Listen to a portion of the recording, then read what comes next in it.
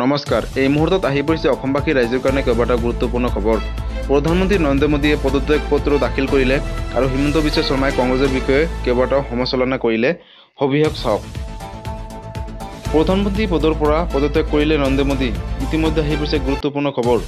ৰাষ্ট্ৰপতিৰ হাতত অৰ্পণ কৰিলে পদত্যাগ পত্ৰ। আঠ জুনত প্ৰধানমন্ত্ৰীৰূপে মোদীয়ে শপত লোৱাৰ সম্ভাৱনা। ইতিমধ্যে দিল্লীত উপস্থিত হৈছে এন ডি এৰ প্ৰতিটো দল। উপস্থিত হৈছে বিহাৰৰ মুখ্যমন্ত্ৰী নীতিশ কুমাৰ। এন ডি এৰ বৈঠকত মিলিত হ'ব টি ডি বিৰ প্ৰধান চন্দ্ৰবাবু নাইডু। ভালো দিন আহিল নেকি কংগ্ৰেছৰ? এই মুহূৰ্তত আহিছে গুৰুত্বপূৰ্ণ খবৰ। অসমৰ বিজেপিৰ তুলনাত বৃদ্ধি পালে কংগ্ৰেছৰ ভোটাৰ হাৰ। এই মুহূৰ্তত আহিছে এক বিগ ব্ৰেকিং নিউজ কংগ্ৰেছে লাভ কৰিলে সাতত্ৰিছ পইণ্ট আঠচল্লিছ শতাংশ ভোট। তাৰ বিপৰীতে সাহসীয় বিজেপিয়ে লাভ কৰিলে সাতত্ৰিছ পইণ্ট তিয়াল্লিছ পাৰ্চেণ্ট ভোট। বৃহৎ ভোটৰ ব্যৱধানত জয়ী হৈছে কংগ্ৰেছৰ তিনি প্ৰাৰ্থীগৰাকী। অগপই ছয় পইণ্ট ছয়চল্লিছ শতাংশ এ আই ডি এফে তিনি পইণ্ট তেৰ শতাংশ ভোট লাভ কৰিলে। কংগ্ৰেছৰ বিজয় উৎসৱত দিল্লীলৈ যাবলৈ সাজু হৈছে তিনি বিজয়ী প্ৰাৰ্থী কংগ্ৰেছৰ।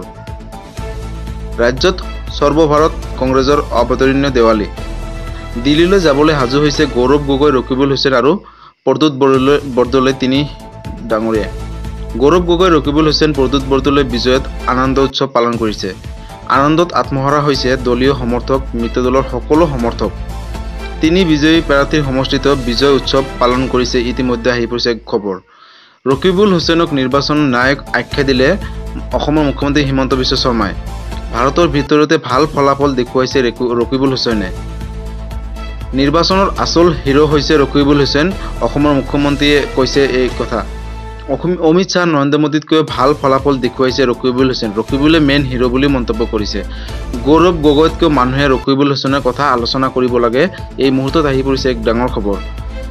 আগতে মুছলমান মানুহৰ ভোটৰ অধিকাৰী আছিল আজমল আৰু কংগ্ৰেছ। এইবাৰ মুছলমানৰ ভোটৰ একছত্ৰী সম্ৰাট হ'ল কংগ্ৰেছ।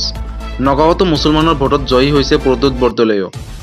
মুছলমানৰ ভোট লাভ কৰা যুঁজত জয়ী হৈছে ৰকিবুল হুছেইন আৰু প্ৰদ্যুৎ বৰদলৈ। এই মুহূৰ্তত আহি পৰিছে